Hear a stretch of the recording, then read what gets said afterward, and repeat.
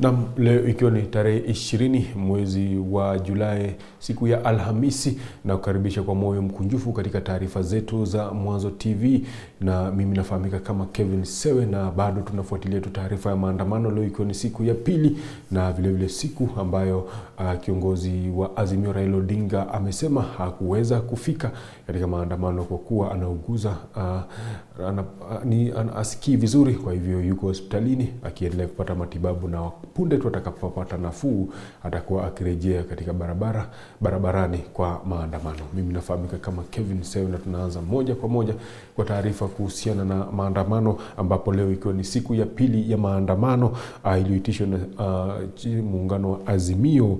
Maeneo machache yameshuhudia maandamano hayo, hususan hapa jijini Nairobi. Hata hivyo, vikundi vichache vichache ambavyo vilikuwa vimekusanyika maeneo kadhaa wa kadha maeneo ya Nairobi yalitawanywa na maafisa wa polisi kutumia vituo vitoa machozi. Hata hivyo, Raila Amolo Odinga pamoja na viongozi wengine wa Azimio hawajaonekana katika maandamano hayo kwa siku ya pili mfululizo.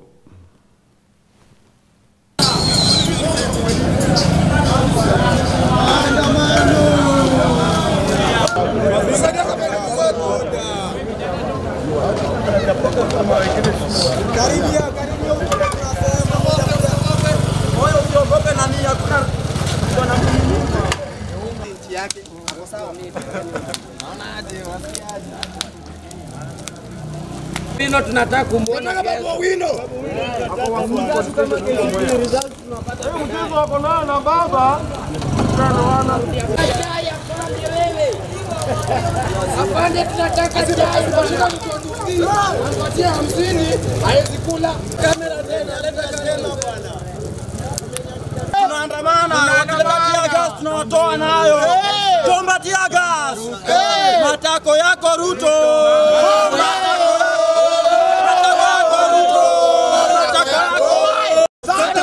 Sema sande. Hivyo hivyo. Hii mambo yenye Ruto anaangalia wananchi. Wananchi gani anaangalia wakati tunateseka?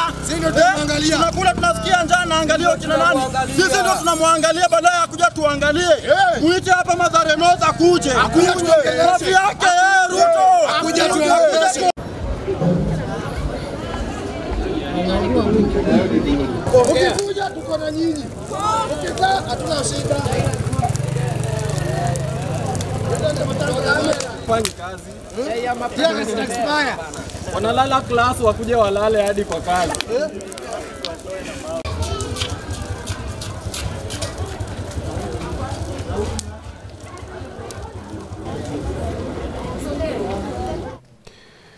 Bado tukiwa tu kwa taarifa za maandamano, ni kuwa muungano wa Azimio uh, wamesema wanasikitishwa na hatua ya polisi ya kutumia, ya kutumia nguvu kupindukia wakati wanaokabili waandamanaji, hata baadhi ya mapolisi kutumia risasi na kuwaangamiza waandamanaji wengine mchana peupe.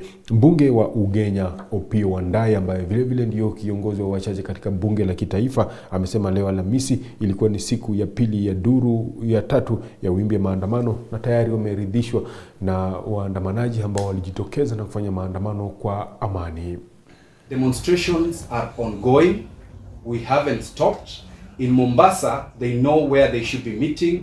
In uh, Kakamega, various parts of the country, and as the uh, leader has said, in Nairobi we are meeting at Central Park in the next hour or two, and in Kisii people will be meeting at uh, Capitol Roundabout. And we encourage our people to continue being peaceful in their demonstrations. It is the police officers that continue to uh, uh, disorganize them and attack them unfairly. And we are telling uh, the government and members of parliament from Kenya Kwanza that while you organize your militia to try and frustrate our efforts, we are being provoked to the extent we are also going to organize ourselves. And that is going to ruin our country. We encourage the Kenya Human Rights Commission and the various uh, uh, civil society organizations to also be on the watch on the brutality that these police officers are meeting on Kenyans. yangu ni kushtumu. Kwanza nitaanza na hao mapolisi.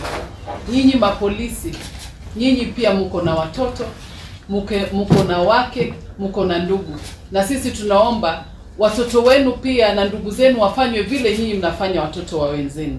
There are people who have died, there are people who have been shot, there are colleagues of ours who have been arrested, and the only conclusion you can make is that there is a clear command structure. That command structure began with a meeting in State House.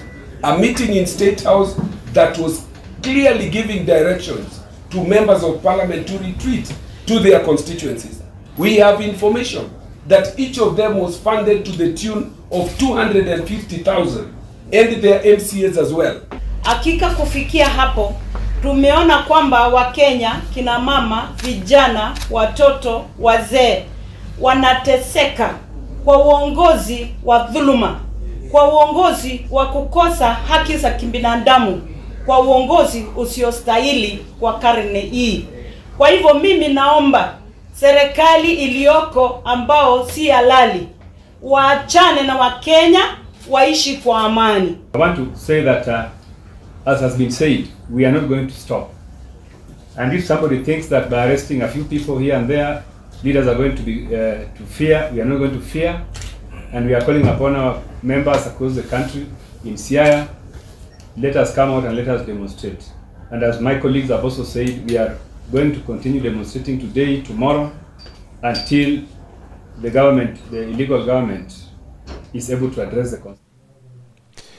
Haya, licha ya Opiyo Wandayi na kikosi chake kuwalaumu polisi kwa kutumia nguvu kupindukia wakati wanawakabili waandamanaji, naye Rais William Ruto amewapongeza polisi uh, hii leo amewapongeza uh, maafisa wa polisi kwa kufanya kazi nzuri ya kulinda mali na kuzuia uharibifu wakati wa maandamano.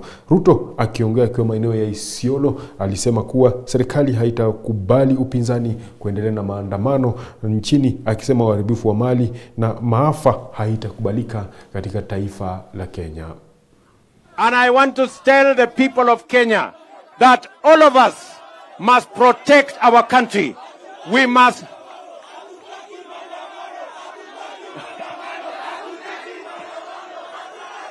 Ati Isiolo mumesema nini? Ati Isiolo mumesemaje? Ati Isiolo mmesemaje? Ati Isiolo mmesemaje? Ati Isiolo mmesemaje? Wale wanasema hatutaki maandamano, nione kwa mkono. Wakenya mahali pote, every part of Kenya have said we cannot sabotage our economy using violence and destruction of business and destruction of property. Kenya is the only place we have to call home and we must protect it by all means. We must protect our democracy. We must protect the peace in our country because it is a collective responsibility of all of us as citizens. Na mimi nataka niwaambie polisi wetu hongera kwa kusimama kidete na kuhakikisha kwamba kuna amani na kuhakikisha kwamba wa- wahalifu wote wanachukuliwa hatua, ndio tuhakikisha kwamba kuna amani Kenya na hakuna vita na mali biashara ya wananchi isiharibike na biashara na mambo ya equipment na, na vifaa yote ya serikali Haya, bado tukiwa tukatika uh, awamu ama habari uh, kuhusiana na maandamano ni kuwa wakazi wa kaunti ya Kisumu hii leo waliingia barabarani tena uh, kupinga uh, ama kwa awamu ya pili ya maandamano kupinga serikali ya Rais William Ruto na vilevile vile kulalamikia ongezeko la gharama ya maisha.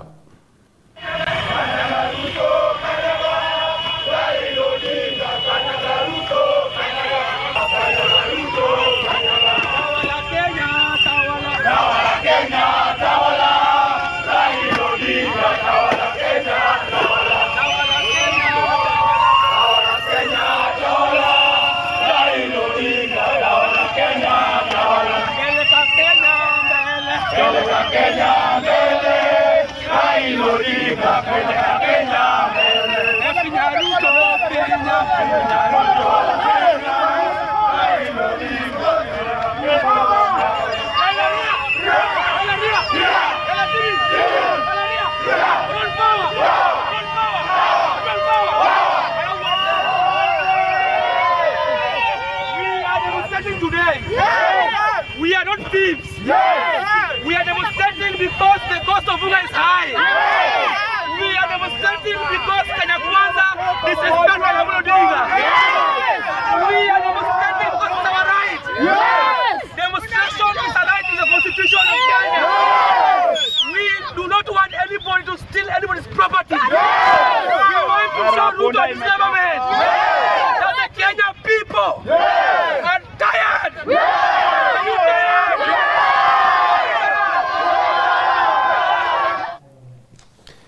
Haya, hao ni wa Kisumu. Na vile vile leo ikiwa ni siku ya pili ya maandamano nchini, shughuli za kibiashara ah, hata hivyo imeonekana kuendelea kama kawaida, japo kwa mwendo wa kinyonga. Baadhi ya wafanyabiashara hata hivyo walisalia kufunga maduka yao, hususan maeneo ya Nairobi.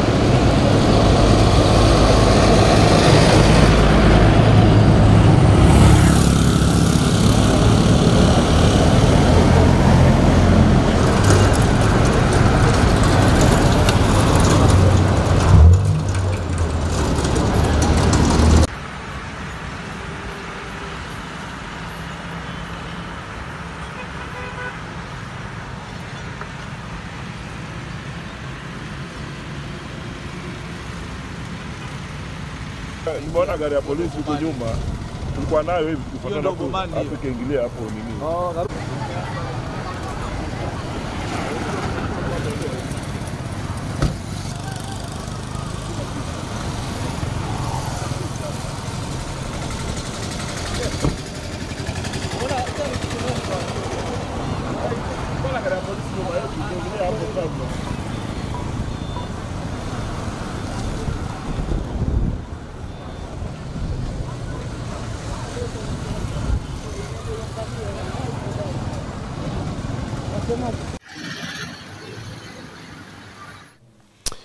Ya tuelekee sasa maeneo ya Mbeya nchini Tanzania katika sakata ya bandari ambapo wakili Boniface Mwabukusi amesema leo Alhamisi Julai tarehe 20 mwaka huu kuwa wameamua kuyaondoa maombi ya kusimamisha utekelezaji wa makubaliano ya kati ya serikali ya Tanzania na ya Dubai ya uendeshaji wa bandari.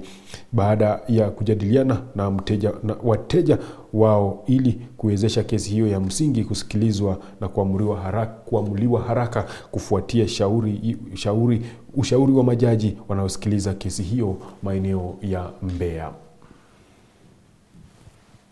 tutavikabili. Hatuogopi kuwekwa maabusu, kwa sababu sisi sio majambazi. Sisi tunafanya kazi halali. Wana uwezo wa kutufunga pingu, hawana uwezo wa kufunga pingu akili zetu. Watafunga pingu mikono, lakini akili zitabaki thabiti, tukisimamia maslahi, ulinzi wa rasilimali za Tanzania kwa sababu yetu na urithi ujao. Ndiyo maana tuko hapa mahakamani. Kama polisi wanahoja, waombe kuwa interested party, waache kutumia bunduki na mamlaka yao ya kipolisi kuingilia michakato na kutuharasi tu, kwa sababu wanafikiri kwa kufanya vile watatufanya tuonekane wahalifu.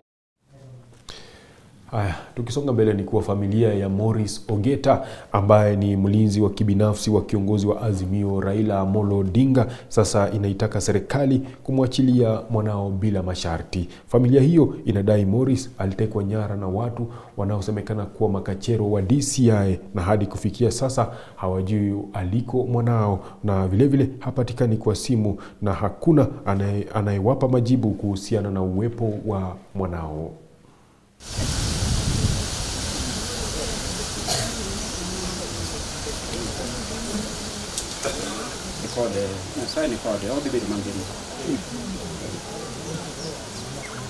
Sign iko wapi? Eh.